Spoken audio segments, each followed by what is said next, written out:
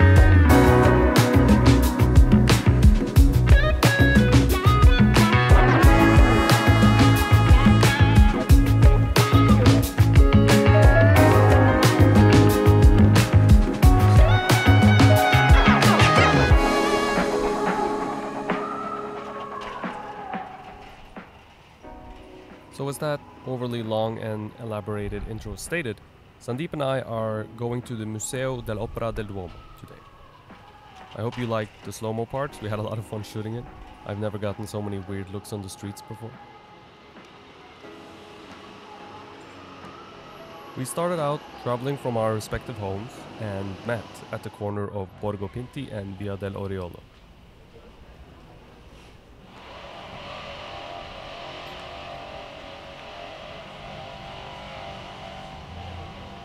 And then we did the last leg together, serpentining through the tourists to get to the museum, which is located behind Santa Maria del Fiore.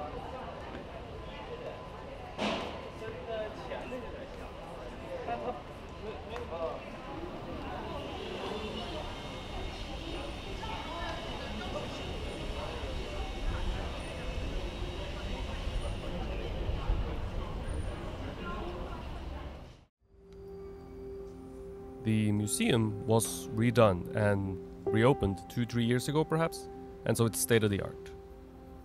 The museum occupies the space where the old Duomo workshop used to be, where they used to do work for, for the Duomo. And amongst other things, the David was carved in these workshops. The museum houses the original bronze doors for the baptistry by Ghiberti. But we are not here for that we are here for something very special. The Bandini Pietà by Michelangelo Buonarroti.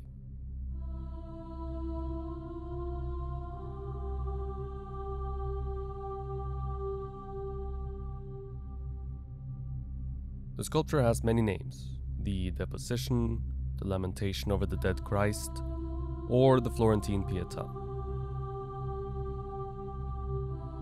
The sculpture is carved from a single block of marble and stands 7 feet and 4 inches or 226 centimeters tall. And it's mounted on its dark stone dais in a beautifully lit room in the museum.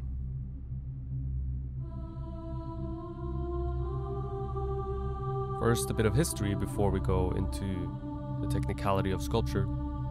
The sculpture was supposedly meant to go on Michelangelo's tomb in Santa Maria Maggiore in Rome, but he never finished it and ended up attempting to destroy it, and ultimately he sold it. Now, there are many theories why he destroyed it, tried to destroy it. Some say the marble was flawed and so he couldn't finish it. Some say elements of the piece made Michelangelo uneasy, specifically the lost leg laying over the lap of Mary. Or that the inclusion of a self portrait of himself as Nicodemus, which is the character in the back with the hood, would have outed him as a follower of Nicodemus, whose teaching were closely aligned with that of the newly formed Protestant church. The Italy of Michelangelo's time, and of today of course, is overwhelmingly Catholic, so this could have this is a potential theory. Michelangelo was also close with Vittoria Colonna, who was part of the a group called the Spirituali, and they also followed, to a certain extent at least, the teaching of Nicodemus. And this was right at the time of the Reformation, and so you wanted to be careful with not aligning yourself fully with the Catholic Church, especially in Italy, and especially when you were working for the Pope. All of these are theories, of course, and there is no clear answers. Michelangelo, who was also a poet, did write this poem as he was making the sculpture. In such slavery and with so much boredom, and with false conceptions and great peril to my soul, to be here sculpting divine things. I'm not a poet, so I won't make an attempt at analyzing this poem, but it certainly seems that the sculpture was troubling him. It is one of the few pieces he made with, with no commission and fully for himself. As far as sculpture goes, even in its unfinished, destroyed, and then later restored state, it's a special piece. The four figures, each at a different height, brings the eye upwards to the head of the cloaked figure, believed to be Nicodemus. Then from Nicodemus's shoulder down into Christ's right arm. Christ's hand is composed so our eyes are brought back into the sculpture again.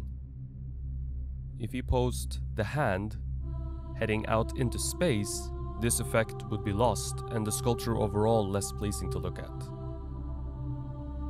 From there, our eye is led down to Mary Magdalene's arm into Christ's leg, before we travel up Christ's left arm to the climax of the sculpture, at least to me the Virgin Mary and Christ's head.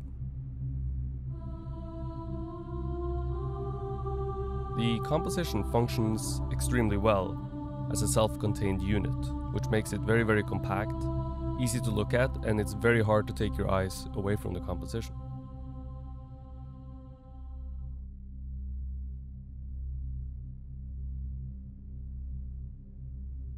The internals of the sculpture are extremely solid as far as structure goes, also.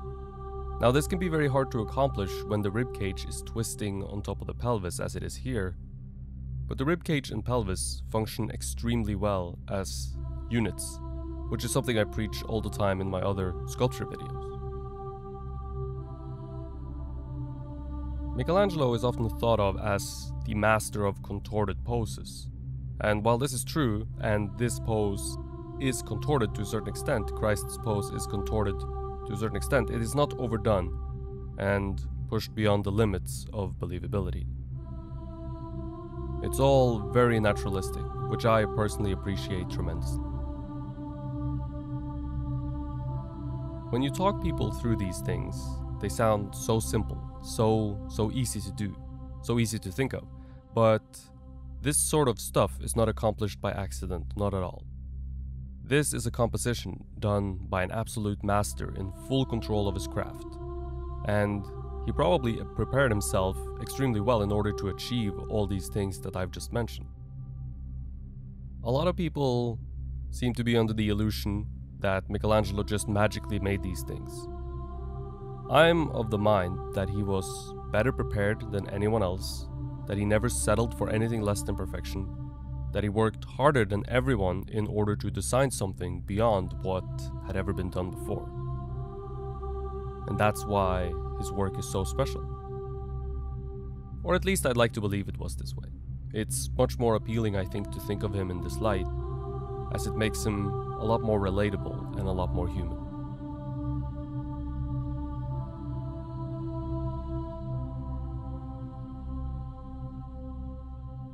If you've watched other videos that I've made, you will likely have heard the mention of divine, divine topography before. And Michelangelo is more or less the originator of divine topography, and in this piece in particular, it's on display in full force. Pay close attention to the close ups, especially the ones from the three quarter views. You can see how full the forms are, how thick they are, how they come out from the other forms, how it's not all flat. The torso of Christ is a roaring ocean of forms. They are all extremely powerful as well. There are no small, delicate details, really. Everything here is full and volumetric. The reason I mention this is because so many people seem to believe that all the small, delicate, and crispy details are important and what brings a piece to life. I think it's more about the arrangement of the larger forms, the design of each shape, and how the puzzle fits together in a three dimensional way that creates intriguing figure sculpture. The body of Christ, I think, proves that such a theory is true, even if other ways might be true as well. There is close attention paid to the anatomy, but another interesting thing to note is that the anatomy is not very schematic. It's fully realistic and lifelike, which makes me think he must have worked from life if not on this particular piece, then at least for a very long time. And I believe there's evidence for this as well, so we know he worked from, from models and from life. Now, if he just dissected corpses and knew anatomy intimately, I don't think you can sculpt a Christ so lifelike and human without having worked from life.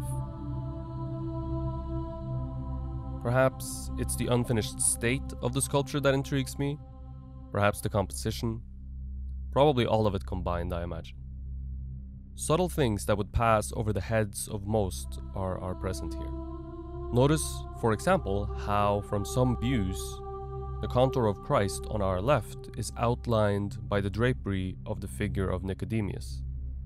So the contour gets a very dark shape behind it, which in turn makes the contour extremely clear and visible. I don't I don't believe this happens by accident. This is thought out and and it's it's brilliant. It's magnificent and brilliant. To me, this is the single best sculpture ever made, and it's the best example of Michelangelo sculpting a body that is fully lifelike and real. The David is great. The Pietà in Rome is great. But none of them come particularly close to representing life in the same convincing fashion that this does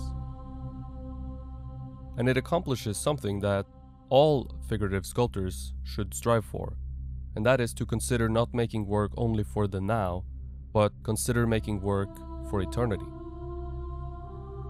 This is the burden of the sculptor, and you should always strive for it. We work in materials of stone and bronze, materials that are extremely durable and might last forever. And Eternity is the burden of the sculptor, and you should always strive for making work that will last for eternity. Even though it's most likely eternity is not meant for all of us. My main takeaway when seeing pieces that move me like this is that they will always resonate. The concepts upon which pieces that resonate forever are based, those concepts are universal, and they are an intricate part of the human experience which hasn't changed that much in 500 years. We call them the Old Masters, not because they are old, but because they are masters. We call them the Old Bastards because they set the bar high. and none higher than Michelangelo Buonarroti.